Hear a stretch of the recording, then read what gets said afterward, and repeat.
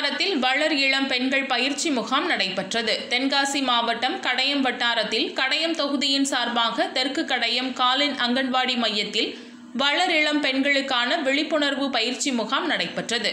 இந்த கூட்டத்தில் கண்காட்சி வைக்கப்பட்டிருந்தது. சிறப்பு விருந்தினராக அரசு மருத்துவர் திரு. பழனிக்குமார் தொழில்நுட்ப தொண்டு நிறுவன அலுவலர் சுப்புலட்சுமி பேராசிரியர் ஜேசன் பிரஸ்லிராஜ் கலந்து கொண்டனர். அதோடு யோகா பயிற்சியும் கொடுக்கப்பட்டது. இந்த நிகழ்ச்சியில் மேற்பார்வையாளர்களாக திருமதி பூமதி தமிழ்ச்செல்வி வட்டார ஒருங்கிணைப்பாளர் ஆனந்தன் வட்டார திட்ட உதவியாளர் முருகேஸ்வரி மற்றும் அங்கன்வாடி பணியாளர்கள் கலந்து கொண்டனர். கூட்டத்தின் முடிவில் வளரிளம் பெண்களிடம் கேள்விகள் கேட்கப்பட்டு பரிசுகள் வழங்கப்பட்டது.